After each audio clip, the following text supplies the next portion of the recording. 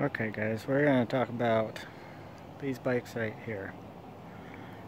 I got them all either on Marketplace or Craigslist. And um, before you buy a bike at Walmart, you should really check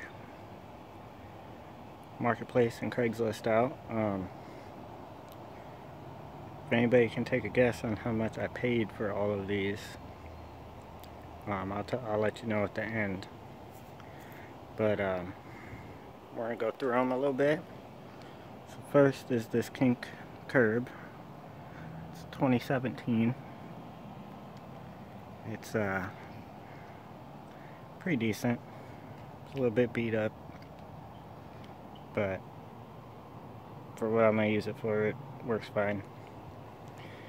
So then we got the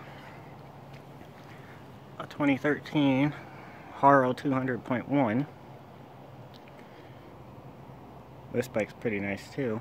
It's not that beat up. Um,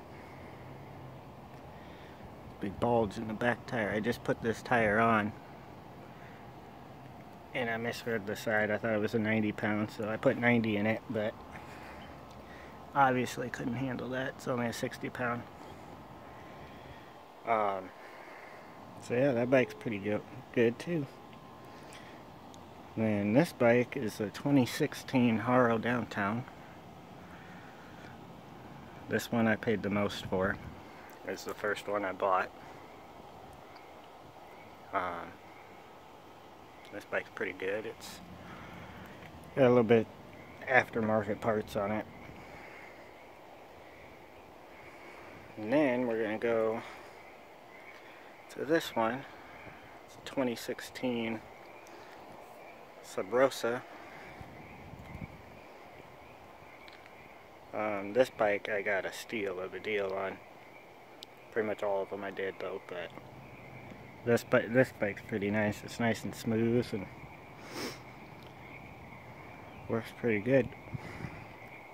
So then my favorite out of these is this.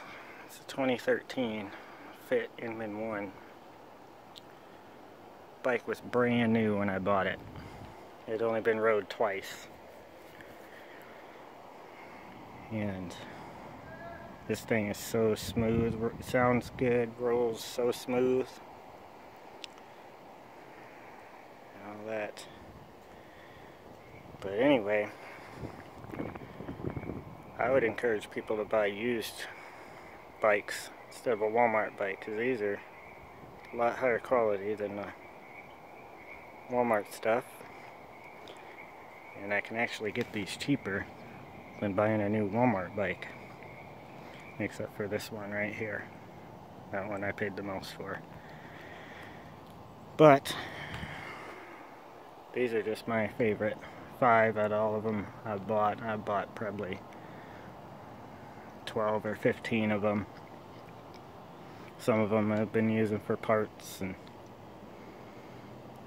some of them I just ride around. But let's talk about how much I paid for them. So this kink curb right here, when I went and got it, um, person wanted 80 bucks for it. So when I got there, what you need to do is, for one, if you're going to be a seller, clean the stuff up. Make it look pretty. That's that's a big thing to some people.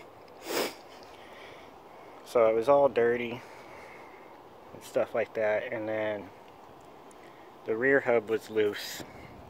So I pointed that out. And then it's missing a brake pad.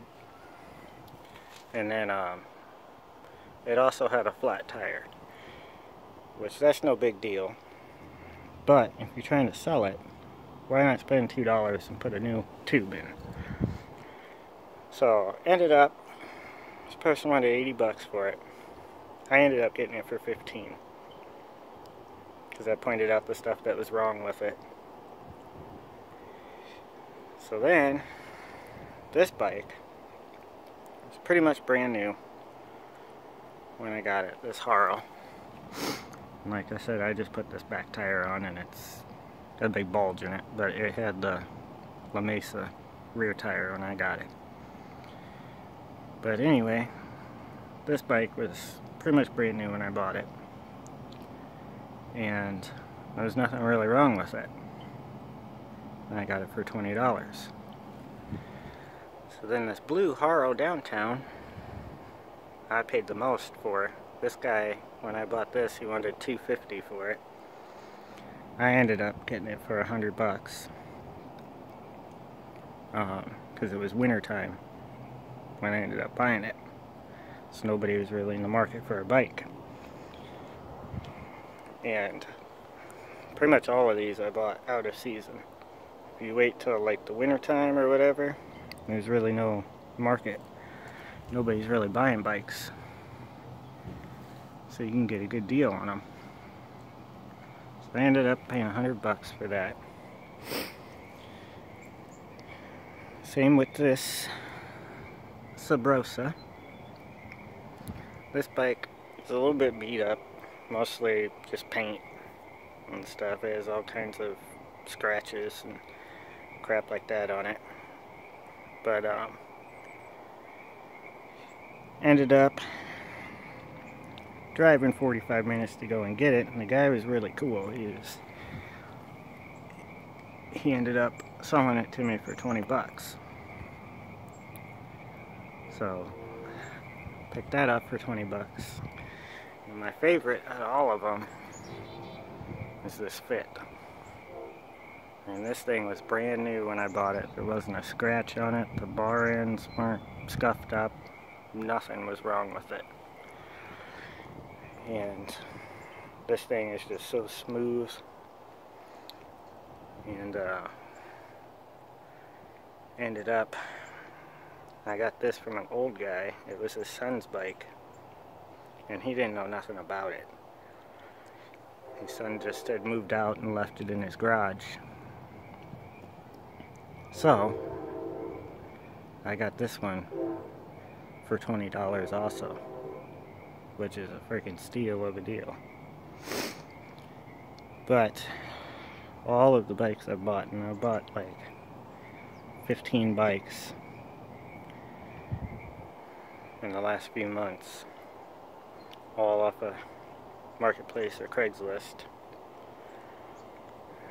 And uh, it's spring now, so I bought them mostly in the winter time. But all of them except for this blue one right here I paid $20 and under for. And this blue one I paid 100 bucks for. But, so if you're going to buy a Walmart bike, or if you're just starting out, I would really suggest checking out Craigslist or Marketplace. You can find some nice stuff that's going to last you a little bit longer than a Walmart bike. So all together here, we have $100,